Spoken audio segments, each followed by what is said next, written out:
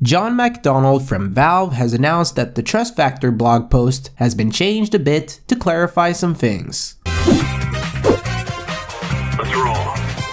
Hey guys! Salut mes amis och hallå gubbar! Maxim here. Valve has updated the blog post. He also wrote that they clarified that Trust is always enabled for matchmaking even when you select Trust plus Prime. It's a bit triggering to be honest, but I'll come back to that later. Before the blog post changed, it looked like this. We wanted to keep the best parts of Prime and ditch the parts that cause problems in the CSGO community. Starting today, players will by default enter matchmaking using their trust factor rather than their Prime status, and in the short term, players with Prime status can still choose to match using the old system. But now it's been changed to players with Prime status can still choose to additionally restrict their matchmaking pool to other players with Prime status, though trust is always on. Lots of people, including myself, believed that selecting Prime here will use some kind of old system, which means you're not necessarily using the new Trust Factor system. However, this new information confirms that if you search for Prime matches, you will still use Trust Factor. So what does this mean?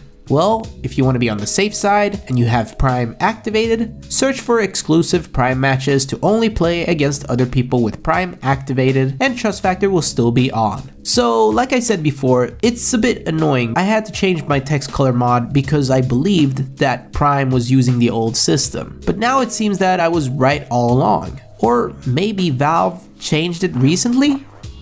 I'm not sure. Anyway, I've updated the text color mod so it's now back to just trust factor on, prime off. If you click on it, you'll turn on prime. While making this change, I was looking for other things that I could do with the text color mod and found something else. If you haven't noticed recently, creating a lobby and changing the game mode to custom will show you this. That's because the string in the game is wrong, and it's not even because of the text color mod. But I did add it to the text color mod, so when you're using it, you'll get the right text. I've also emailed Valve to tell them about the string, so hopefully they'll get it fixed soon. But seeing that I was able to make it work so easily for my text color mod, it shouldn't be an issue for them. You can download the latest version on my website, which I will put in the video description. If you want the mod in another language, you'll have to wait for the guys translating to have an update. That was the video, I'll see you guys in the next one, and go bananas!